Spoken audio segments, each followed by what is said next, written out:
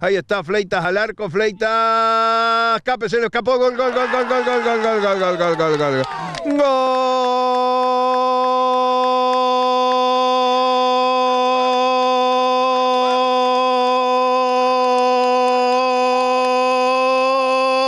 Gol de Unidos, de Unidos.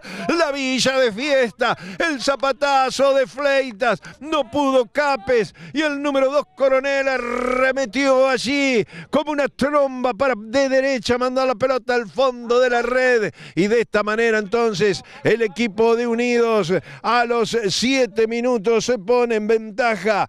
Coronel, el autor del gol, un zapatazo impresionante de gol de Unidos, de Unidos, el número 23, la quiso colocar, fíjate vos, Raulito, la quiso colocar, la pelota pegó en un rival, lo descolocó a Capes y se fue mansita el tranquito de Tortuga allí a la red y de, este, de esta manera entonces y desde este momento Pasa a ganar el equipo de Unido por 2 a 0. Mirá qué bien que le hizo el Guille. Ahí está. La jugó para Ramos. Ramos la hace correr para Fleitas. Manda el centro. Fleitas. Se viene Fleitas. Mandó el centro. Le pegó al arco. Golazo. Gol.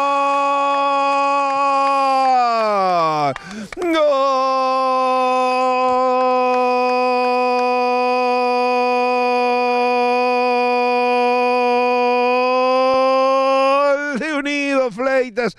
Pero qué zapatazo. Yo creí que iba a tirar el centro. Me engañó. Fleitas le pegó de zurda. Le buscó el ángulo a Capes.